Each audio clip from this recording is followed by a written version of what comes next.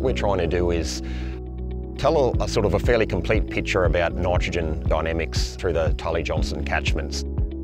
You know, what's the water quality leaving rainforests? How does it change when we get down into farming areas? What are some of the management options that farmers can undertake on their farms in terms of minimising their fertiliser loss from their farms and uh, demonstrating particularly to the farming industry what sort of management control options they do have over water quality.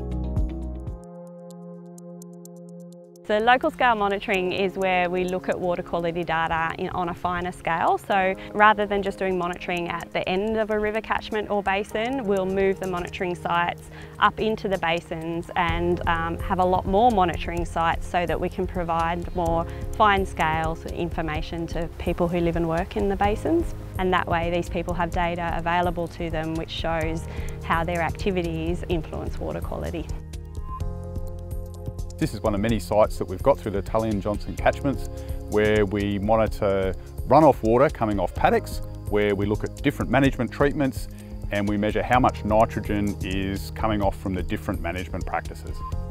So essentially the reason why we collect this data is so that we can provide information to community. We do it in a way that the community know the source of the data, they know who's collected it, how it was collected, they were involved in the design of the program and so the data that we then deliver to the grower is trusted.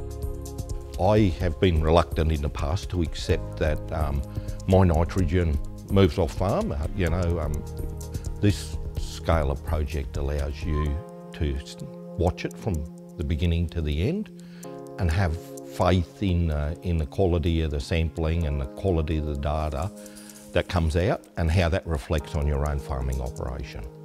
Once you can see it, you can manage it, you know, and the growers have always said to us, show me it's my nitrogen, and then is what I'm doing making a difference?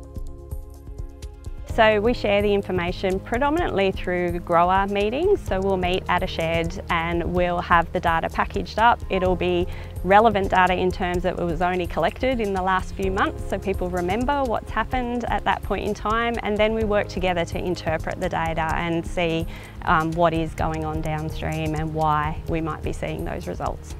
What it's all about in the end is so that we have communities working together to change their practices and alter their behaviours so that we improve water quality flowing out to the Great Barrier Reef.